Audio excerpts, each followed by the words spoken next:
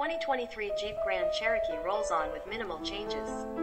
The big news is the omission of the Trailhawk trim, which is now restricted to the plug-in hybrid 4xe. The gas-powered Grand Cherokee is as good as ever, combining family-friendly comfort with off-road prowess. The Grand Cherokee family has added a new member, leaving buyers with many decisions to be made. The first choice is body style. The longer Grand Cherokee L comes with a third row and extra space. But the shorter 5-seat body is more agile and better for off-roading. Then comes the powertrain. We found the V6 sufficient for almost all uses. If off-road performance is a priority, look for QuadraTrac 2 or QuadraDrive 2 4WD systems. Both are designed for low traction conditions.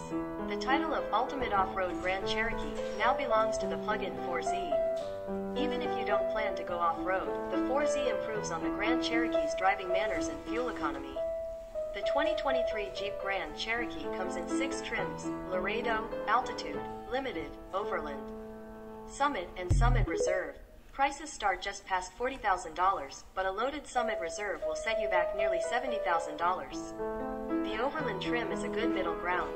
It's the first trim available with Jeep's QuadraTrac 2 4x4 system, which makes it a rugged off-roader. It also comes with the larger infotainment system, Nappa leather seats, and a panoramic sunroof. If that's not in the budget, look to the Altitude trim.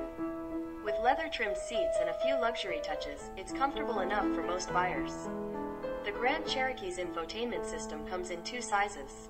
Laredo and Altitude trims use an 8.4 inch touchscreen, while the rest of the lineup gets a 10.1 inch display and are equipped with navigation.